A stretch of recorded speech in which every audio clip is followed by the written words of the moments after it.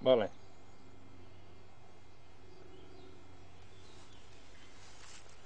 Bueno, voy a practicar una patena que me sale de aquí de la derecha y me cruza hacia la izquierda y llevo rato intentando hacer lo de, lo de la caja. Como sale directamente en el cielo y no tengo ninguna referencia de ningún árbol, y con el aire cada vez sale diferente, mm, no soy capaz. Intentaré practicar más a ver si consigo hacer lo de la caja o el reloj, que me parece que son técnicas buenas, pero yo no las sé aplicar muy bien. Yo voy a aplicar la técnica que practico yo, que es la que aprendí, que es el seguirlo. ¿Qué significa? Lo único que tengo que hacer es pintarla por delante. Como la estoy viendo, se me quedará a la derecha del cañón, la seguiré, la pasaré e iré todo el rato por delante. Con esta técnica puedo romperla de salida, al medio, arriba y cayendo, sin tener que pensar en ningún tipo de figura geográfica, que para mí es un jeroglífico, no soy capaz de hacerlo. Supongo que soy muy torpe. Bueno, pues entonces voy a probarlo. Me va a salir una patena de la derecha, que está aquí, primero cargo porque si no, no hacemos nada. Sale de aquí de la derecha, gira hacia aquí, da la vuelta y cae. Pero como os comento, cada vez que intento hacerlo con el aire se me desplaza, no acaba de fijarse en un sitio. Como no tengo ninguna referencia, no puedo imaginarme ningún rectángulo, porque es que no puedo pensar en ningún sitio, por lo menos yo no lo consigo. Y entonces voy a tirar a mi manera, que es tirarlo por delante, trazando una línea como si fuéramos un niño pequeño, sin salirme de la línea todo el rato por delante. A ver si consigo tirarla. ¿Eh? Voy a probar. Tiraré de la primera a la mitad de la trayectoria, que es más o menos por aquí. Y a ver si la puedo coger, ¿eh? Yo marco, como siempre, las 12, las 3 y la 1.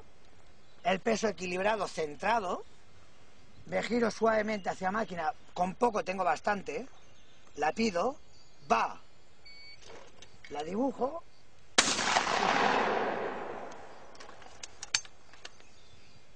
yo creo que es una técnica muy sencilla, muy fácil de aprender y que no genera problemas. Ahora la voy a tirar un poco antes, un poco más corta, que es por aquí delante. ¿Eh? Marco aquí delante, vuelvo al swing un poco más atrás, que estoy casi de cara a la máquina, la tengo muy cerca, va.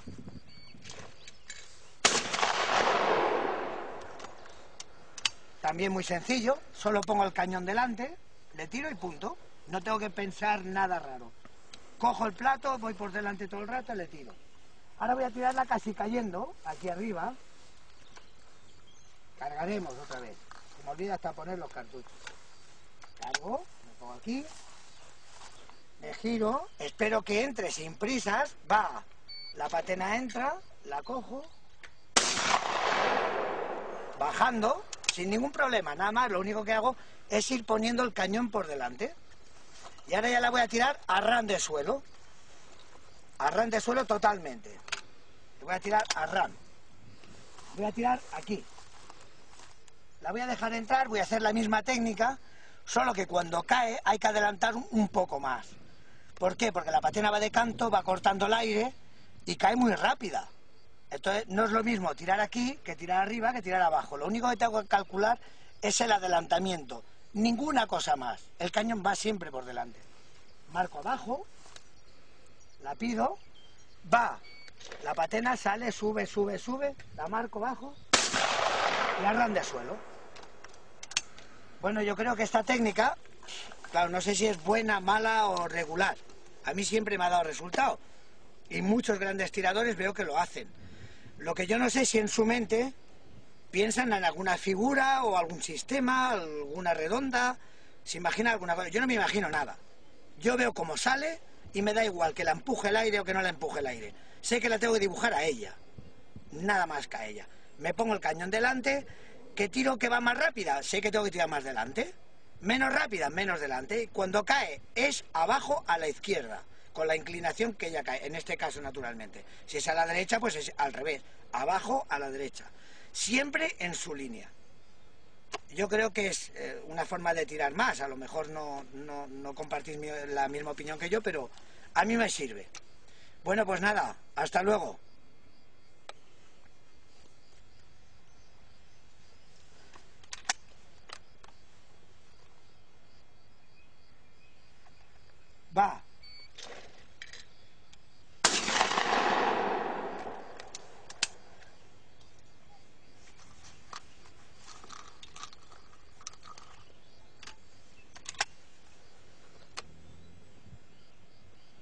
Va. Ha salido muchísimo más alto porque le ha movido el aire. Sí.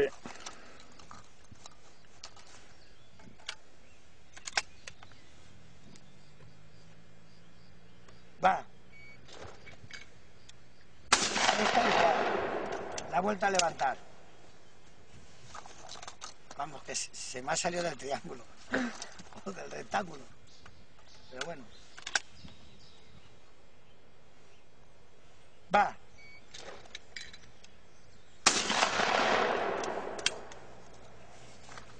Ahora voy a tirar alguna cayendo.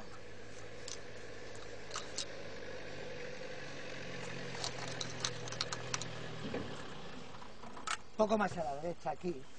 Y además aquí. Va.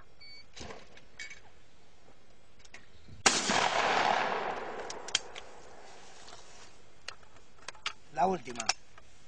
Más o menos aquí también. Va.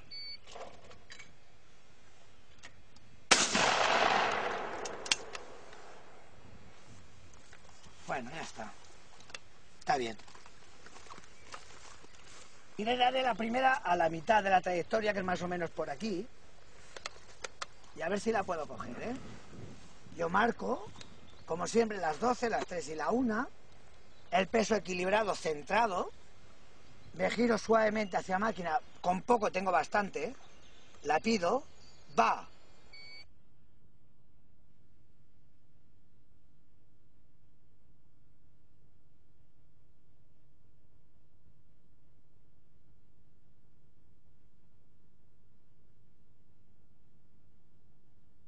Una técnica muy sencilla, muy fácil de aprender y que no genera problemas. Ahora la voy a tirar un poco antes, un poco más corta, que es por aquí delante. ¿Eh? Marco aquí delante, vuelvo al swing un poco más atrás, que estoy casi de cara a la máquina, la tengo muy cerca. Va.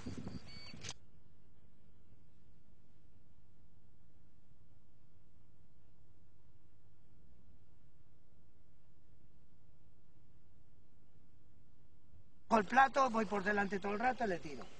Ahora voy a tirarla casi cayendo, aquí arriba. Cargaremos otra vez. Se me olvida hasta poner los cartuchos. Cargo, me pongo aquí. Me giro, espero que entre sin prisas. Va.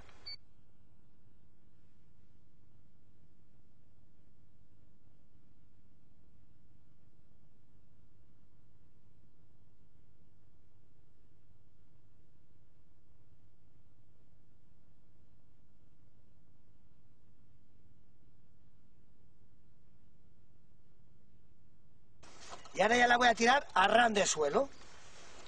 A ran de suelo totalmente. Le voy a tirar a ran. Voy a tirar aquí. La voy a dejar entrar, voy a hacer la misma técnica, solo que cuando cae hay que adelantar un, poco más. ¿Por qué? Porque la patena va de canto, va cortando el aire y cae muy rápida. Entonces no es lo mismo tirar aquí que tirar arriba que tirar abajo. Lo único que tengo que calcular es el adelantamiento. Ninguna cosa más. El cañón va siempre por delante. Marco abajo, la pido, va la patena.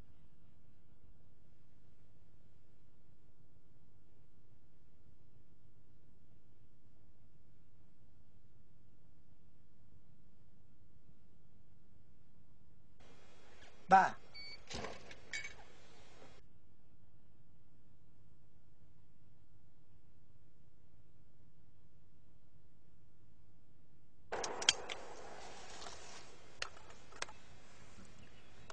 吧。